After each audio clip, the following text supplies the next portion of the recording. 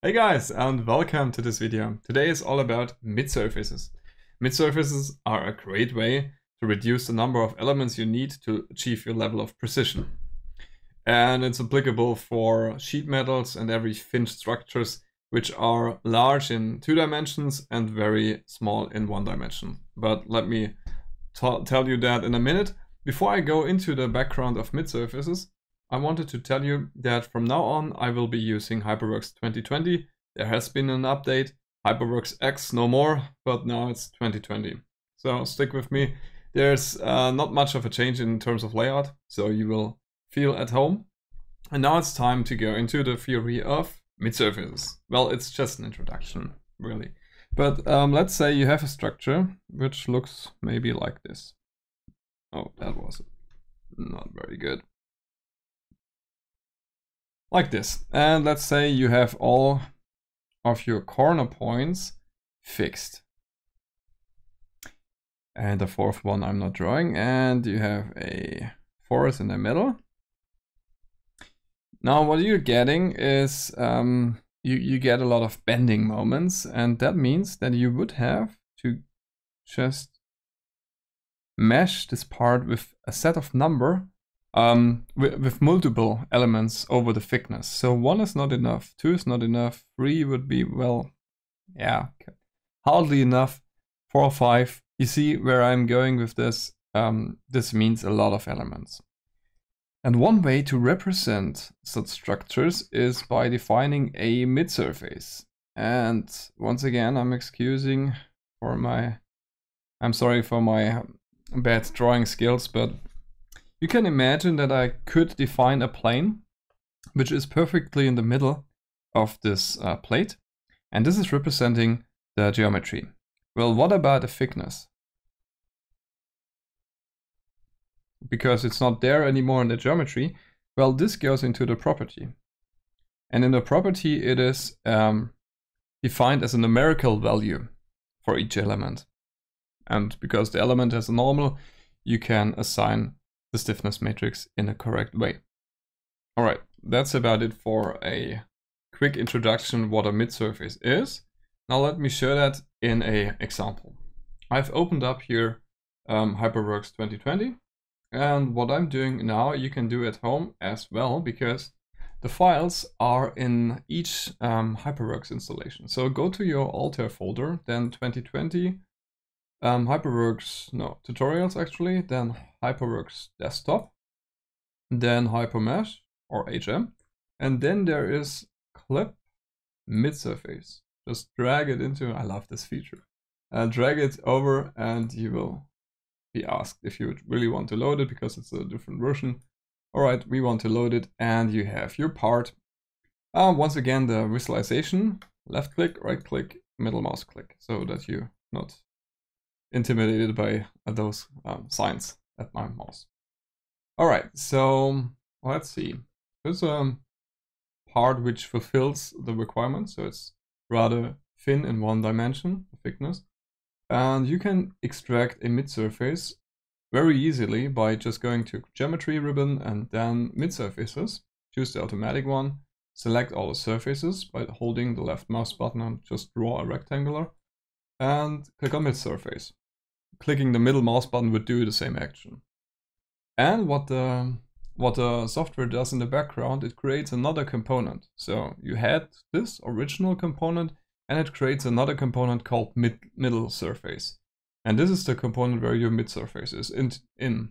And if you hide the geometry of the um, initially or the original component, you can see very clearly that it's just one surface, which is in the middle of this surface.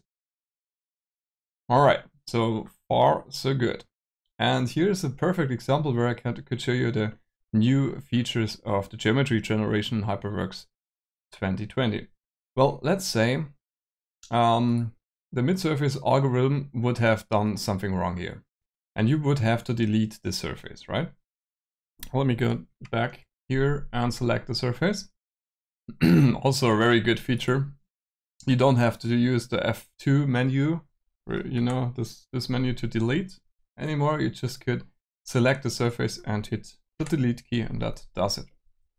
Now, if I want to create or recreate this surface, I could go to surface and to extend and select the line and drag it over. And now I would have to see the holes and cut through it and, you know, lots of stuff. But actually, in HyperWorks 2020, you could do it like this. You just show the geometry, maybe in a wireframe, and you just extend it once again. You select the edge.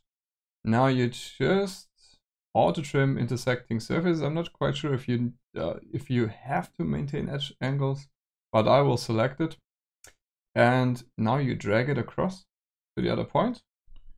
Hit enter and let's see if that worked. Turning back from wireframe to shaded geometry and you see the holes are there. Just because it's intersecting.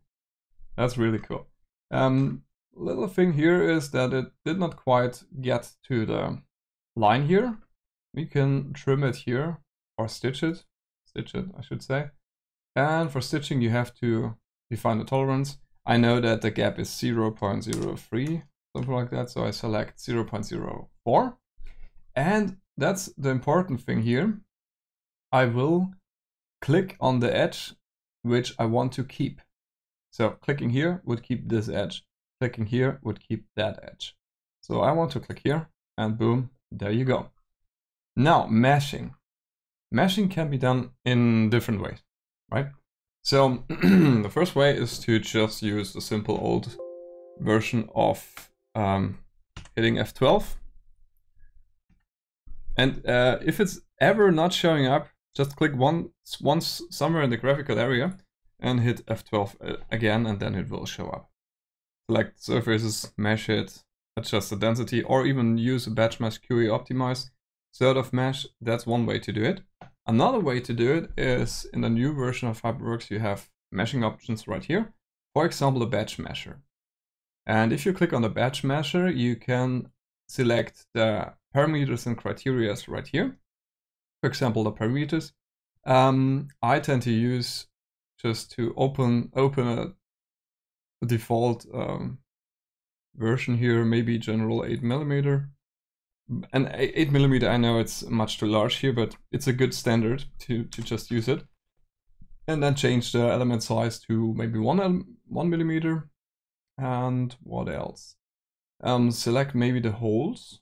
I know the diameters of the holes is, I think here it's 2 and this is around 7. So what I want to do is I want to remove the small holes. So I check here 1.5 and treatment is remove. And then here I want a washer. So this is 7, so it should be it should be in this. But just to be sure, I'm not quite sure if it's diameter or radius, but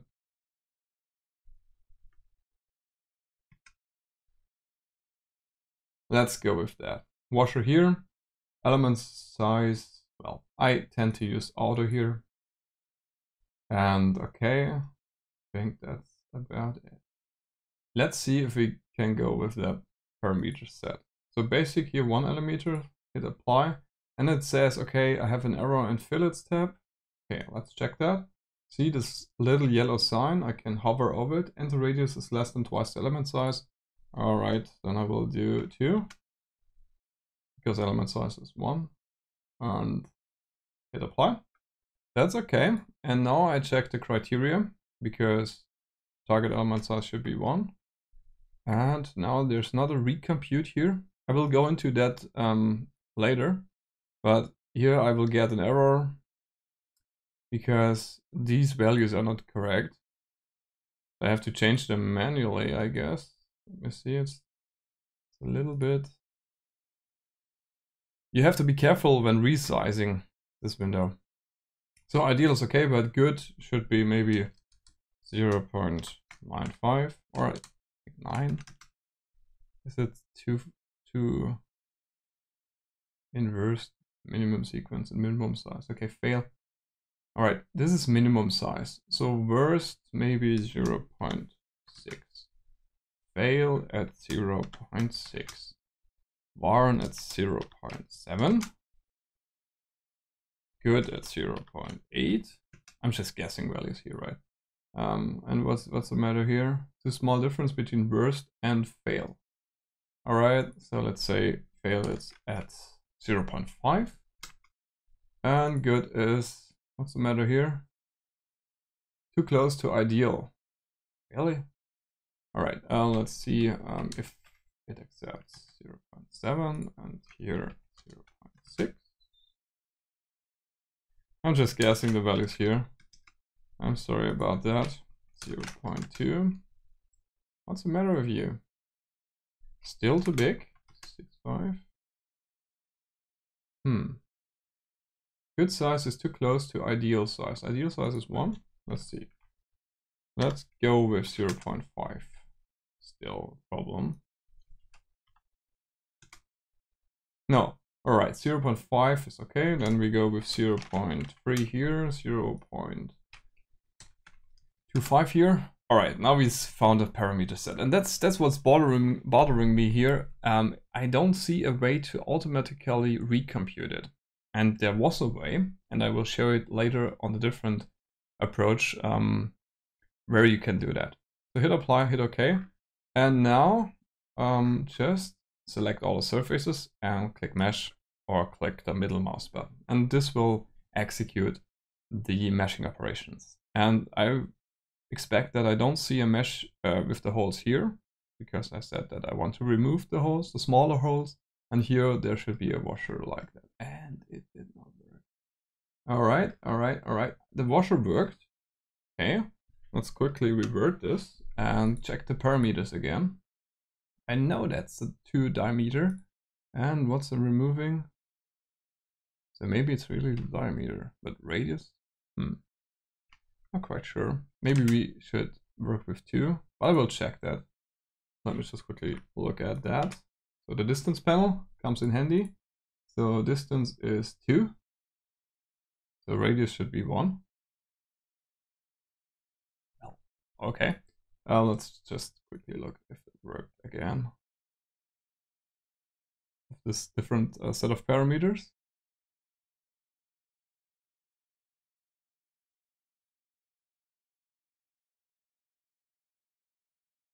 Well, it's not removing those. Why ever? Okay, one more shot. And if it's not working now, radius below 2. So 0 until 2 gets removed. Normally, normally, that should work. I cannot change the parameters. Maybe the is with the seed here. Quickly remove this. Let's see. Let's see if that works. Once again, I can also select the elements here by hitting Control A and just pressing delete. And once again, go into the batch mesher, select maybe just the surface to see if that works. No, it doesn't. All right. Maybe in the different version it worked before. So I know this is working. I'm not sure why it's not working right now, but all right. We'll keep that for now. Okay, the other version, or the old version, how to do it, and there's an actually an uh, recompute button. That's what I wanted to tell you. If you're in the F12 menu, the auto mesh panel, you have batch mesh QE optimize. You could choose QE optimize, choose a different value. So for example, 0.5. The one before was one millimeters, right? And now the values are different and the criteria will change. But if I just select the surfaces and hit mesh, it will ask me if it has to recompute the quality criteria using the size of elements um, 0.5. And I said, yes, please do that. And then it will mesh with the updated criteria file, which is pretty, pretty cool.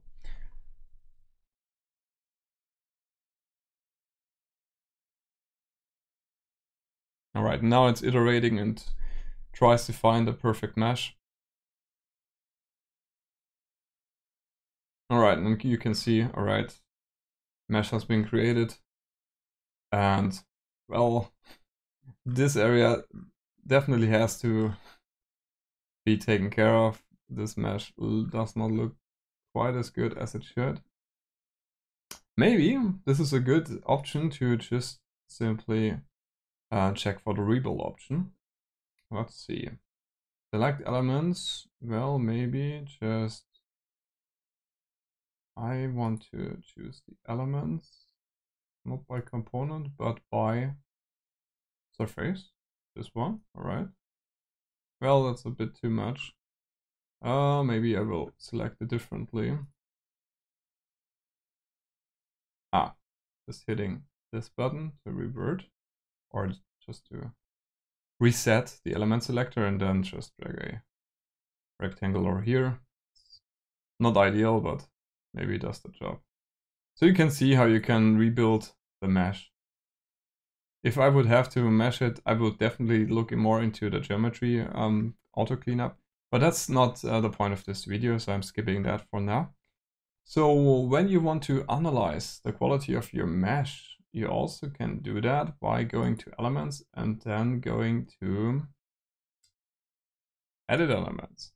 Now you can see where the element problems are, right? There's this button here where you can change the threshold. Then you can see, all right, I have problems here. And you can maybe um, smooth an area. That's maybe an option. Or maybe move a particular element somewhere else. I'm sorry. Move this element. Okay, here I can move the nodes. All right. You can see that the element quality will get better if you're using, but you don't have to overdo it.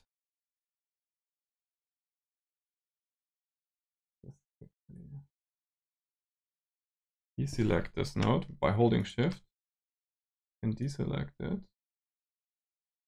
And I think this node is really the problem. So you can find a uh, value here where all the elements are, okay? But as also for this um, step of the process, I would first go more into the geometry, clean up, and then go into the meshing before I do that. But for the sake of this video, it was just a, a purpose to demonstrate how to generate and mesh a mid-surface. All right. Um, if you had variable the thickness in your part, you could also apply the thicknesses here and then just use uh, source information from the geometry and then apply it onto the target. But in this case, all has the same thickness, so it's rather boring. But for more complicated parts, this option is definitely a uh, worth looking um, in your mid mesh uh, mid, mid mid surface mesh generation process. I should say, yeah. All right, that concludes this introductory video to mid surface meshing. The topic itself is pretty pretty deep, so maybe we have another video where I, where I, where I explain the the matter in more more uh, yeah more detail on a complicated part um, but for now, that's it. Thanks for watching. If you have any questions, comments, please let me know. Uh, and yeah, hit me by email or in the comment section below. And yeah, thanks for watching and until next time.